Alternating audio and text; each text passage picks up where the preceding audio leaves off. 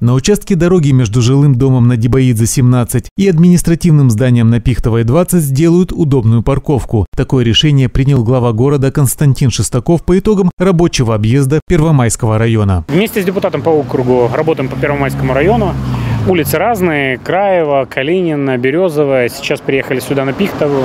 Осмотрели территорию, примыкающую к скверу Рыбацкой славы. На Пихтовой 20, э, рядом с налоговой, э, мы отсмотрели площадку, на которой мы завершили судебное разбирательство по возврату муниципальной собственности земельного участка и необходимости демонтажа э, долгостроя, который находится все еще здесь на территории. Мы такое решение приняли. Что касается дороги между домом номер 17 17 улицы Надибаидзе и Пихтовой 20, ее решено привести в порядок. Демонтируем бордюрный камень для того, чтобы можно было обеспечить полноценную парковку, сделаем разметку, э, ну, для того, чтобы жизнь на территории микрорайона была более комфортной. Сейчас идут работы и по аварийному ремонту дорог. Понимаем, что впереди нас ждут э, тайфуны, и мы должны все вот эти малые проблемные э, очаги ликвидировать до их начала. Я говорю о дорогах.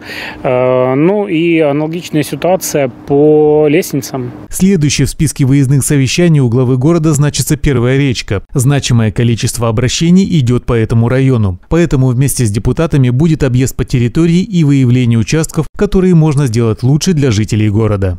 Артем Белов, Диана Иванова. Новости на восьмом.